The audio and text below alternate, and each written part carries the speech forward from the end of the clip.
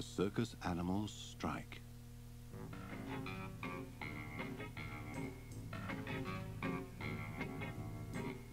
That's the last time you'll perform with the elephants, yelled the ringmaster at Toby. You're far too clumsy. You ruin everything. Last night you tripped over your own feet, and tonight, well, just look what you did tonight. You nearly knocked me over. You weren't even looking where you were going. Toby sighed. He loved going into the circus ring with the other elephants. They looked so smart in their red feathers. And as the music played, they circled the ring and danced in time.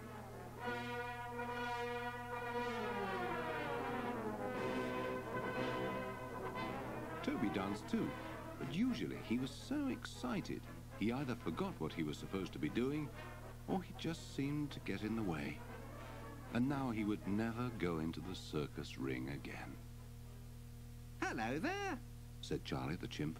Come on, cheer up. What's the problem? Toby told him what had happened. You're not allowed to perform again. We can't have that. Wait till the other animals hear about this. And he dashed off to spread the big news. Soon the lions and the horses and the chimps and the elephants were all roaring and neighing and trumpeting and chattering. It's just not fair, said Hector the performing horse. He's only a baby elephant, said Lawrence the lion. He can't help it. Listen, everybody, called out Hannibal, the leader of the elephants. I have an idea. All the circus animals put their heads together and listened while Hannibal explained his plan. That's a great idea, said Charlie. We can start tonight. That night, as usual, the big top filled with people all eager to see the circus. Behind the scenes, everybody was getting ready. The clowns were painting their faces, the ringmaster was polishing his top hat, and the elephants were having their bright red feathers put on their heads. Only Toby stood sadly on his own, watching. He would not be wearing his bright red feathers tonight. The fanfare sounded.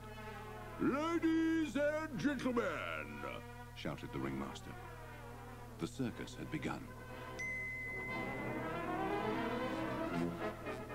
The music played for the horses.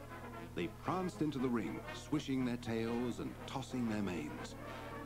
But then instead of galloping round, they all suddenly stopped. The music played on.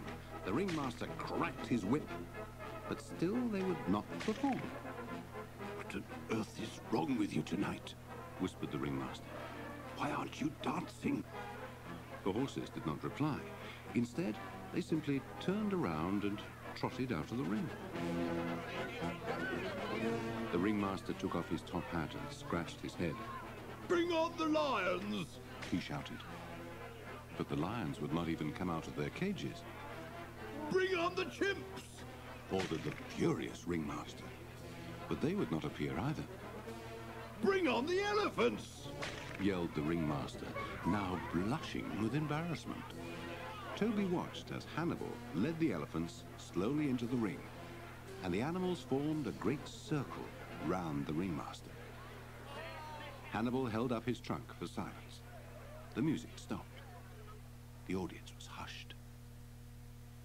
The circus animals are on strike, announced Hannibal. Until Toby, the baby elephant, is allowed to perform with us again. He's only a baby, so it's not surprising he's clumsy and makes mistakes, but he's still part of the circus, so until he's allowed into the ring again, we're not working.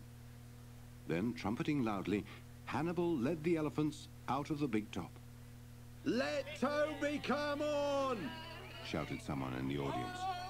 Yes, let's see the baby elephant! shouted another.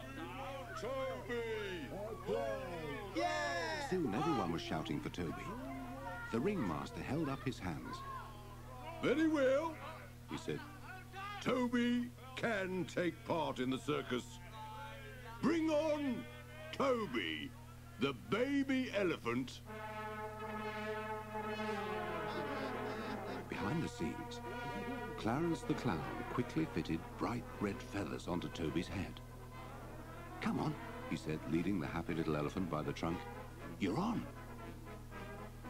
Toby was so very thrilled and excited that when he ran into the ring, his feet got in the way and he tripped up Clarence. The crowd roared with laughter. Soon he and the clown were chasing each other around the ring. The audience loved it. It did not matter that Toby was clumsy and tripped over his own feet. The crowd just laughed all the more and a broad smile came across the ringmaster's face too. It was not long before Toby was the star of the circus, with his name on all the posters. And all because the circus animals went on strike.